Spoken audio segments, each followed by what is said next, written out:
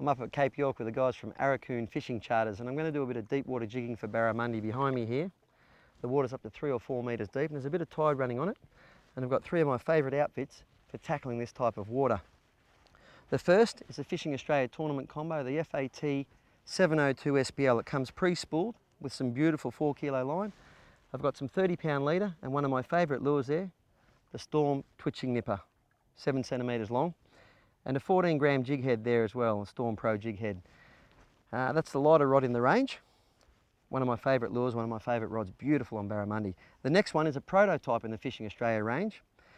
It goes from four to six kilo, seven foot long again, two piece.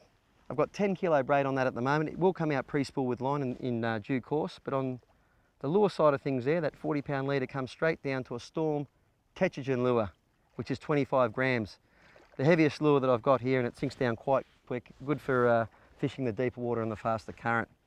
And the third rod and reel there is a three-piece Okuma bait cast outfit. It is a beautiful rod. Packs down to three pieces, really sweet. That's the four to six kilo one. You can get a heavier one in the three-piece model.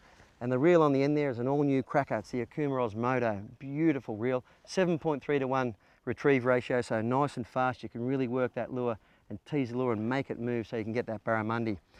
30 pound braid, some 60 pound leader, and down to a beautiful lure there, the Rapala Ripping Rap, which I've uh, beefed up with some heavier trebles because we're expecting some bigger barra here.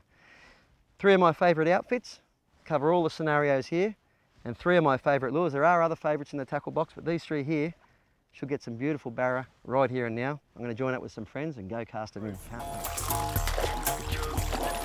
Whoa, it's all on here and just been working around this deep hole here sounding out with this uh, big 25 gram blade type lure I've got on.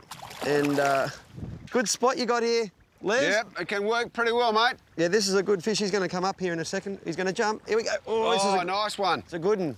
She's a good one. Is he a barra? Definitely. Yeah, nice big barra. Whoa. Oh.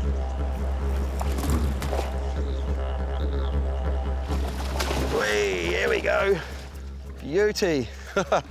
well, about half a dozen casts or so, and we're onto a good fish, Les. Yep. Mate, your operation up here, I mean, fishing in a beautiful, pristine spot like this. Yeah, we're pretty sport, I must say. I mean, all this country here and the waters are traditionally owned by the Wik and the Wik Way people. Okay. And we are privileged to uh, be able to operate here. They've given us the permission to do so. It's a magic fishery, and we just love it. Oh, good. Beautiful fish, well done. Be very careful when you grab. It's a fantastic fish. Be every bit of 80 centimetres, beautiful Yep. saltwater barra. Oh, nice sheen on that, eh? uh, fantastic. What was that, second cast or third cast? Wasn't too many casts, I can tell you that. That is a great fish to catch in a stunning environment.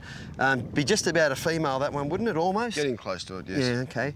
Got that on, that's that vibe lure I mentioned, that's a Storm Yeah. Tetragen, 25 grams, good for casting out wide. Les has got something that he's using in a bit closer, but It's uh, very, very similar to the bait fish which are here. You Yeah. can see them all on the edge. Nice shiny pattern. Uh, we'll also get down a bit into that water column and the, obviously the barras love it. Yeah, and what I really like about that particular one is side on, you can see it looks like a bait fish. When you turn it from the top, that lure, it's got a really uh, belly shine to it. One of my favourite colours, that silver and black. I think we let this guy go. I don't think we're going to have a problem catching any more fish, and there's a variety of species here, let me assure you. Um, let's see if we can... Let's give it a go. Yeah, absolutely. No worries. Give it more of a go.